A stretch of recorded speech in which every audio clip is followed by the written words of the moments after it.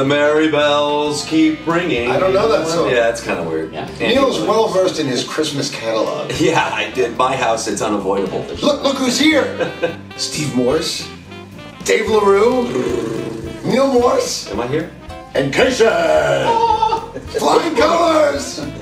That was great. We go up to the to the counter at the hotel today. I'm like, oh, it's Casey. I'm like, Casey. Like, He's What? planning to doing the Casey thing to people at hotels. yeah, That's how that's how people address me now. To innocent strangers. innocent strangers. There's a hat though. I think Bill's gonna be disappointed. Yeah. Yeah, need the hat. They can't use it on their website. Wait a minute. uh, Casey's hat. I gave it away for Christmas. Casey's hat has its own room. Yeah, that works.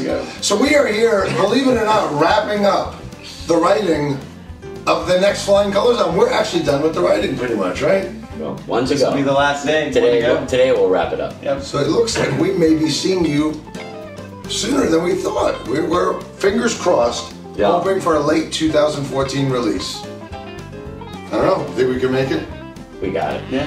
Steve? Well, Dang. I think it's always safe to bet on what the schedule of, of the entire record industry is.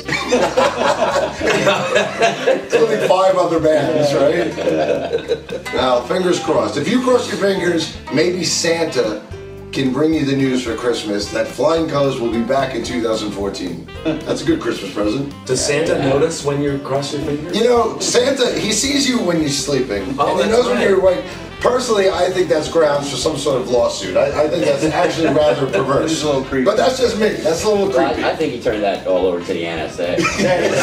You're not really doing that anymore. That's, that's what Steve original NSA, yeah. Anyway, happy holidays. Merry Christmas. Happy Happy New Christmas. Year. We'll see you next year. Yeah.